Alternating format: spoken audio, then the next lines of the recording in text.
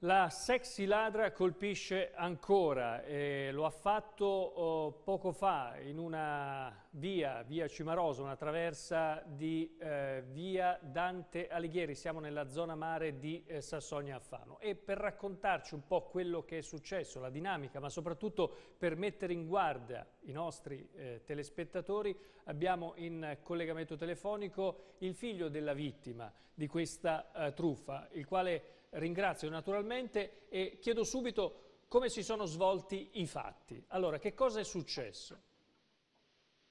Eh, buonasera, praticamente mio padre andava verso casa, è stato avvicinato da questa signora sulla cinquantina e mm, gli ha chiesto mm, se voleva baciarlo, se voleva fare l'amore con lui.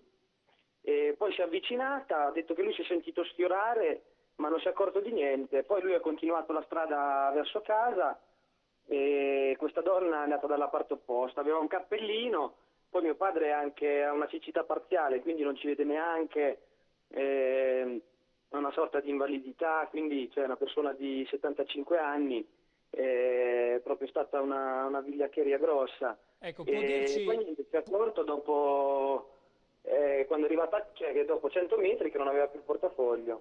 Ecco, può, dirci, eh, può darci anche una, una, descrizione, magari so che aveva il cappellino, evidentemente anche un po' per nascondersi, ma eh, non so se aveva un accento italiano piuttosto che straniera, se era mora, bionda, alta, bassa, queste cose gliel'ha dette suo papà? Eh no, ma ha visto solo che era, era un po' grossa, non, cioè, non tanto magra, con un cappellino, detto sulla 50, 50, 60 anni, non deve essere giovanissimo. Insomma, bene, ecco. bene.